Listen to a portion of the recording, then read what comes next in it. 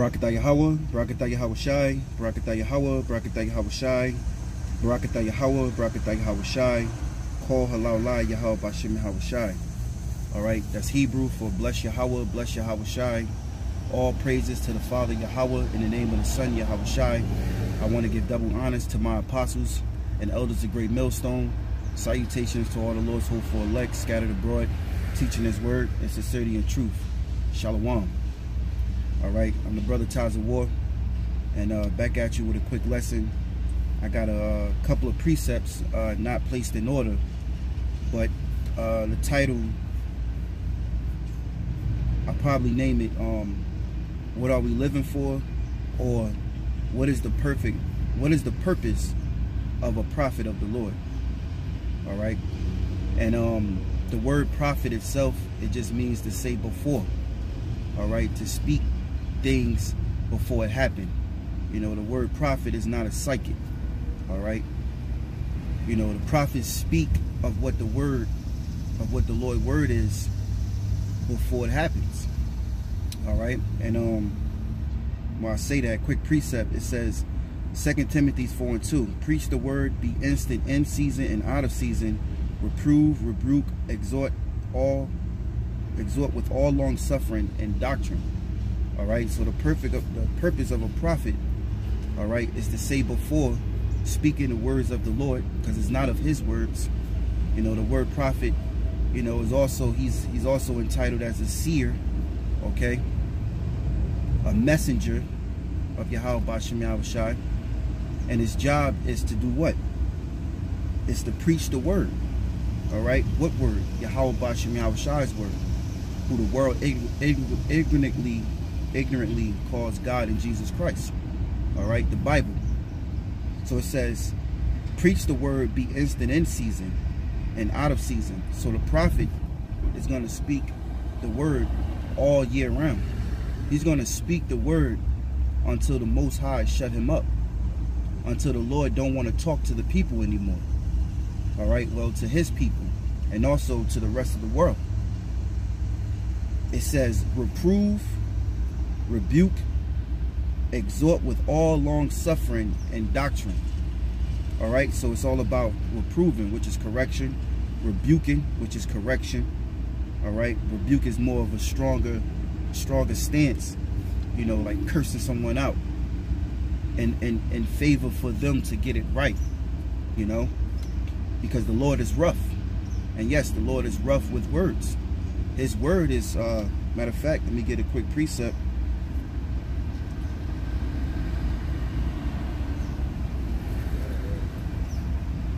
This is um this is Hebrews chapter 4 and 10.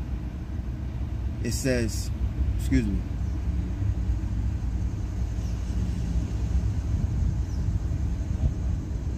Four and twelve, for his word, all right, his word, it says, for the word of Yahweh is quick and powerful and sharper than any two-edged sword piercing even the dividing asunder of the soul and spirit, and of joints and marrow, and a discerner of the thoughts and the intents of the heart. So the Most High's word is quick and powerful, man. Okay? And the Lord is rough. If the Most High is angry, with his mercy, he can send his prophet to warn you in the fashion of rebuking you reproving you, man.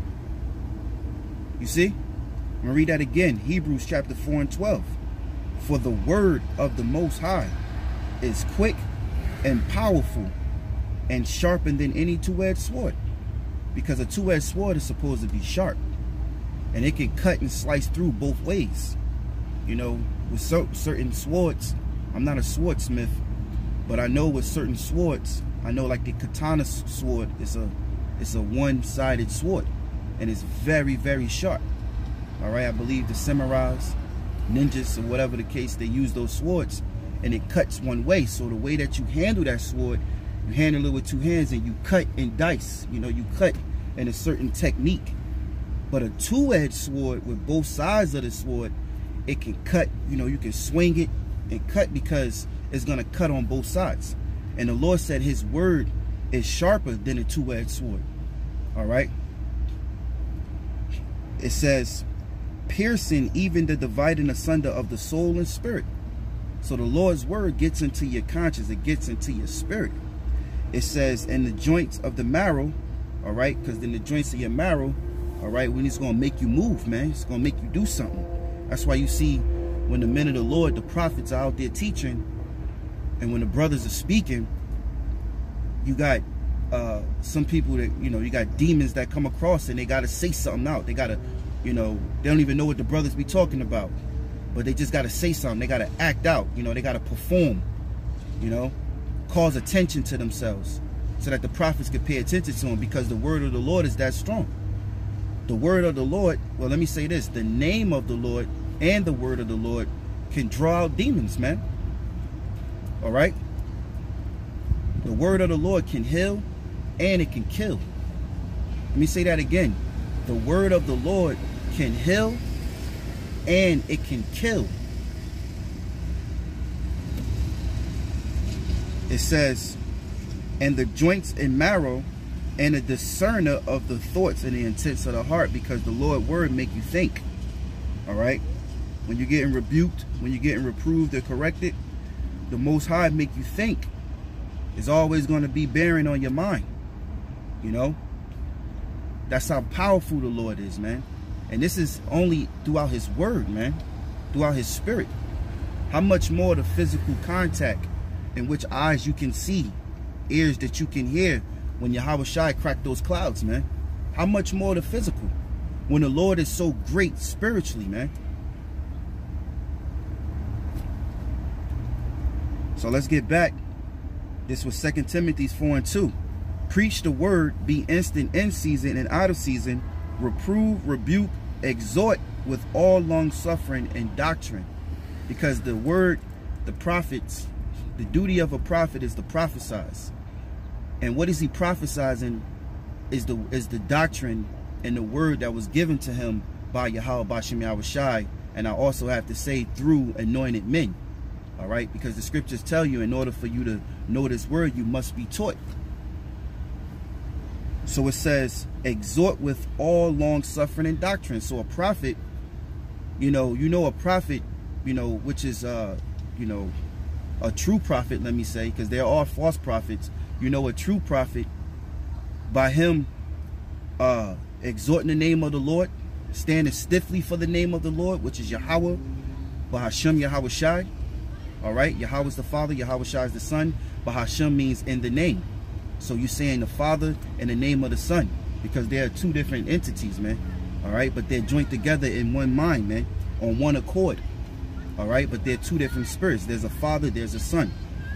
Now, it says exhort with long suffering and doctrine. You know a true prophet when he's been enduring, all right, and suffering for the doctrine of Yahweh Bashem Yahawashi that's out there constantly continuing to teach in season and out of season, man.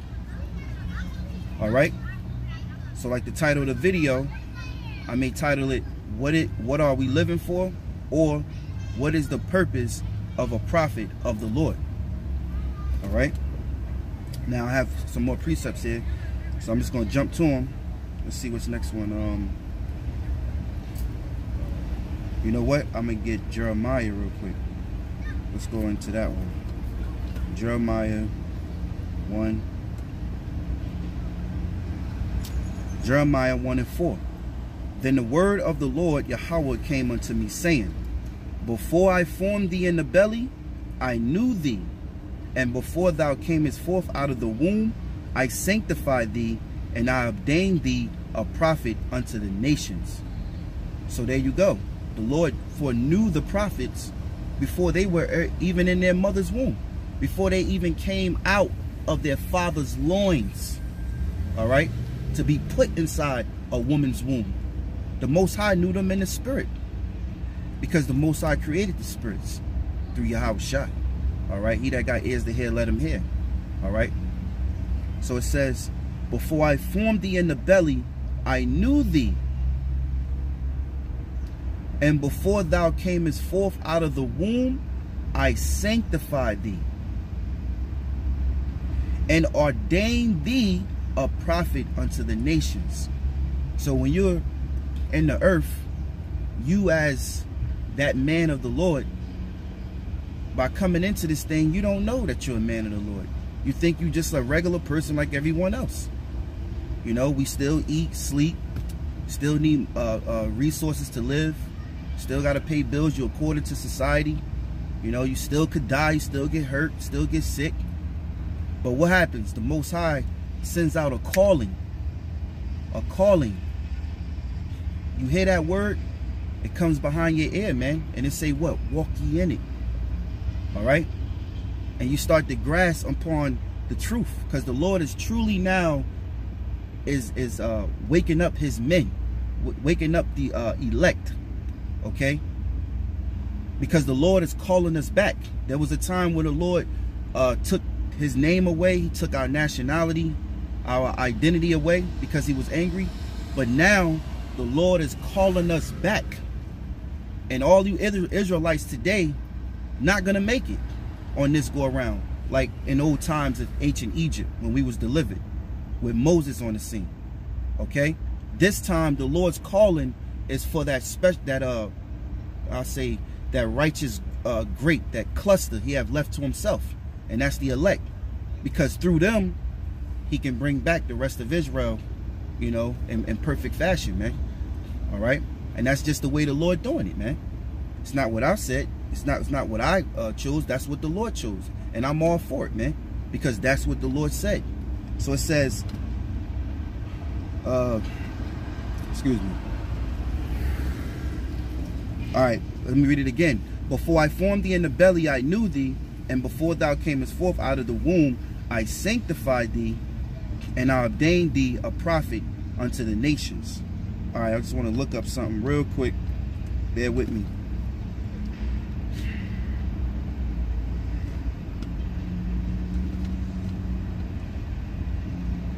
look up some.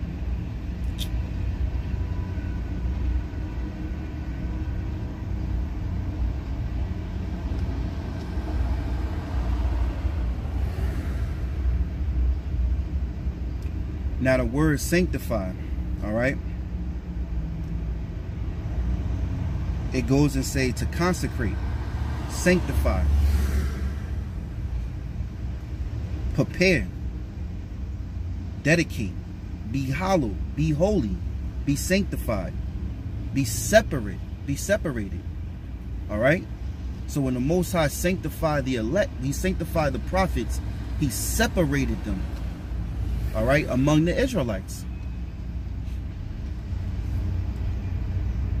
To be set apart, to be consecrated, to be hallowed.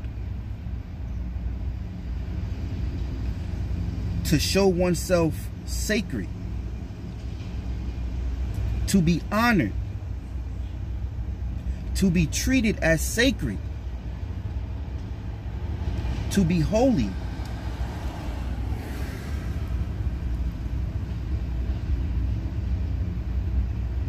To be observed as holy. All right, you get the picture, man. Okay? So it says, Before I formed thee in the belly, I knew thee and before thou camest forth out of the womb, I sanctified thee. And I ordained thee a prophet unto the nations. So, the, so going back into the title, all right, what is the purpose of a prophet of the Lord? Is that the is that the Lord hollowed, separated certain men among the Israelites to go out and prophesy because he have sanctified them to be holy. He sanctified them to be a messenger for him for his mouth, for his for his uh for his uh his will. All right. So let's go on to the next scripture. All right. Now, like I said, I got precepts. They're not um in order, but um I was meditating on the topic, so you know I hope Lord's willing this lesson to be edifying to those of the whole for elect. All right. So now this is uh Jeremiah chapter 28 and 7. It says, Nevertheless, hear thou now this word that I spake in thy ears, and in the ears of all the people. The prophets that have been before me and before thee of old prophesied both against many countries and against great kingdoms of war and of evil and of pestilence. Okay, so you should know a prophet when he's speaking the prophecies of the Lord. All right? And the prophets, like Jeremiah said, even prophets that were before him, they spoke of what? They spoke of they spoke against many countries. If you got guys that say we don't, you know, we don't want to talk about Esau anymore, we're not going to make mention of that. We're just going to rehearse the holy days. You know, we're not going to talk about no mark of the beast. We don't want to get into that because it's too controversy. You know, then guess what? Those are the false prophets, man. Because the real men of the Lord, the real prophets of the Lord, they're not going to hold back. They're going to speak against the countries, man. All right? It says, prophesies both against many countries and great kingdoms of war and of evil and of pestilences, man. So if a, a purpose of a prophet is to speak, you know, the judgments in which the Lord is going to send out because of the wickedness, all right? And right now, we're living in Babylon the Great. For those who live in the soils of North America, North America is Babylon the Great. And you better believe that North America is written in the scriptures, but under the name Babylon the Great, the daughter of Babylon, the mother of harlots. All right? This is the most sinful uh, kingdom on the earth, man. And the Lord said his eyes is upon this place, man.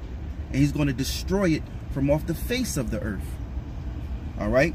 So it says, it says, in many countries against great kingdoms of war and of evil and of pestilence. The prophets which prophesies of peace, when the word of the prophet shall come to pass, then shall the prophet be known that the Lord hath truly sent him. So you got certain men that prophesize that is we should we should uh you know be PC politically correct. We should uh you know teach to not offend. Well, that ain't the prophet of the Lord. The Lord is not from America, nor is the Lord from this world. All right? He's above us. He sets uh, the orders and the ways of man. He judges in the kingdom of men. All right? Just because Esau is ruling and he has power, well, the Most High and his son Yahawashi has more power than him. All right? And it's just a matter of time where Esau is you're not going to go unpunished, man. All right? It's just a matter of time for when the Lord fulfill these prophecies like, you know, the breaking the of World War III, which is Armageddon, a thermonuclear war, the force of the RFID microchip. You know, these things have to take place. And when they do, then you're going to know there was what? Prophets among you, man. Then you would know that the prophets, the true men of the Lord was sent. Instead, you got other men prophesizing of peace. Where there is no peace right now. We're in a time of war. All right. And um, precept coming to mind is uh Ecclesiastes. Ecclesiastes, right? 3 and verse 1. To everything there is a season and a time to every purpose under the heaven. A time to be born and a time to die, a time to plant and a time to pluck up that which is planted. So there's always a purpose for the season under the heaven, man. It says, to everything there is a season and a time to every purpose under the heaven. You got to understand that. Right now, we're in that time of uh, speaking out. Let me finish reading Salakia. You know, it says a time to be born, a time to die, a time to plant, a time to pluck up that which is planting, a time to kill. So that's right. The Most High uh, appointed a certain time in the season, all right, in the heavens, a time to kill. Okay? A time to heal. A time to break down, a time to build up, a time to weep, and a time to laugh, a time to mourn, and a time to dance. The Most High does all these things. Yahweh Bashem Yahawashi. Call halal Yahweh Bashem Yahawashi. It says a time to cast away stones, a time to gather stones together, a time to embrace, a time to refrain from embracing. So I'm going to jump. This is verse 8. It says a time to love and a time to hate, a time of war and a time of peace. You see? So let's get back to the precepts. All right, let me get the next one. This is uh, Romans chapter 8 and 28. And we and we know that all things work together for good to them that love Yahweh, to them who are the called according to his purpose. You see, because it's always according to the Most High's purpose, man. All right? Things won't get done unless the Most High ordained it. And that's what the people fail to realize because you think you got free will. Yeah, I could grab my water bottle, I could drink it, I could go to the store, buy tissue, I could go run in this park right here. But guess what? If the Most High don't ordain those steps, them things won't happen, man. You can just give up the breath right now and die. You know, you can get into a car accident before you about to go do what you think you're going to do. You know, the scriptures say man's going is of the Lord, man. You don't have free will because everything is according to the Lord's purpose. The reason why Esau's ruling is according to the Lord's purpose. The reason why his technology and, you know, he dealing with AI intelligence and all this other stuff and things that we don't even know about. All right. High, high uh, technology, man. You know, his excellency reaches up to the heavens. It's because of the Lord's purpose. All right. And uh, you could get, uh, what's that, uh, Romans 9. You know, his, his purpose, the Most High built. Let me get that real quick. Real quick.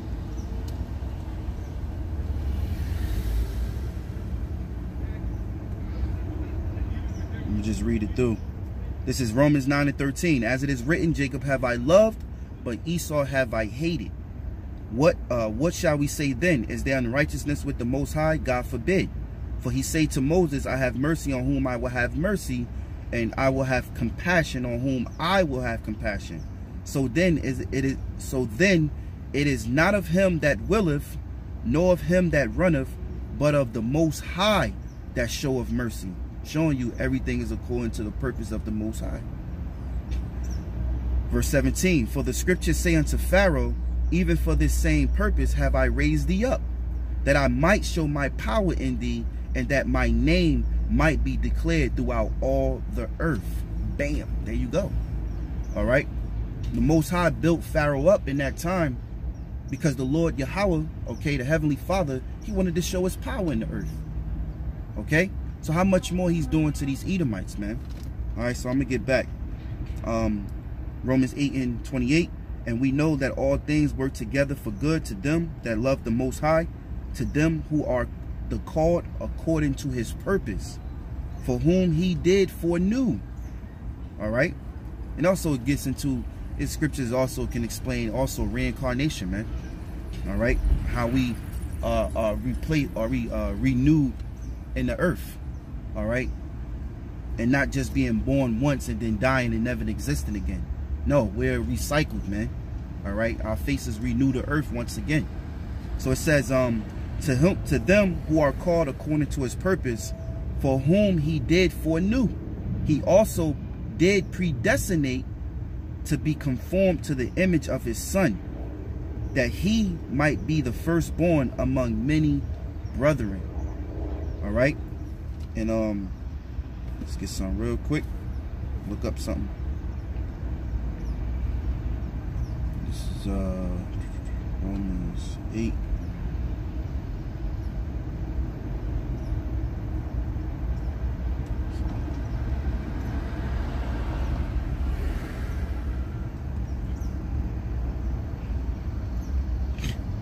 this is Romans 8 29.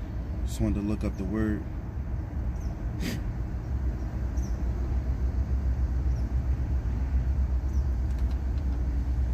Strong's G 4309. Proorizo. Proorizo. All right, that's the Greek word for predestinate. Now, predestinate means to predetermine. You see? Decide beforehand. So the Lord decided who was going to be his men from the very beginning, the first fruits. He decided beforehand, before they came into the earth, he decided who was his. It says to, pre to, to predetermine, decide beforehand, uh, to foreordain, appoint beforehand, to limit in advance, predetermine, determine before. All right, so that's you know, that's you, you get it, man. You should. Romans 8 and 29. For whom he did foreknew, he also did predestinate to be conformed to the image of his son.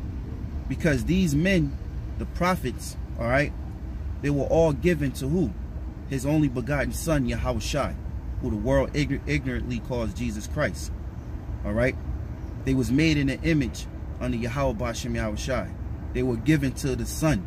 All right? And that's why Yahushua went out looking for the prophets of the Lord. All right? And he found them because the Heavenly Father gave him the men. Okay? It says that he might be the firstborn among many brethren. That's right. Because he was the first spirit created.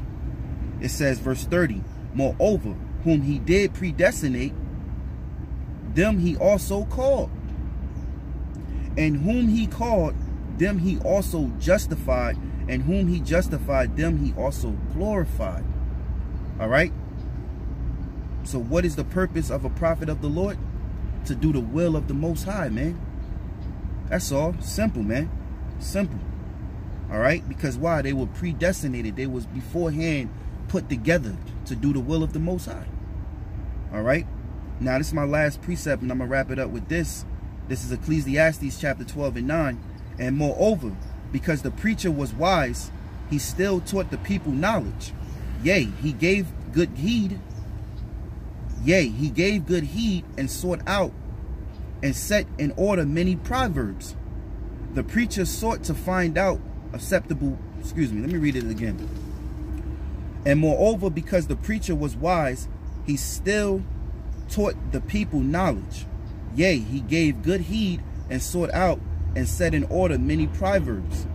The preacher sought to find out acceptable words, and that which was written was upright, even words of truth. The words of the wise are as groves and as nails fastened by the masters of assemblies, which are given from one shepherd to further by these my son be admonished. Of making many books there is no end, and much study is a weariness of the flesh. Let us hear the conclusion of the whole matter. Fear Yahweh and keep his commandments, for this is the whole duty of man. For the Most High shall bring every work into judgment, and every secret thing, whether it be good or whether it be evil.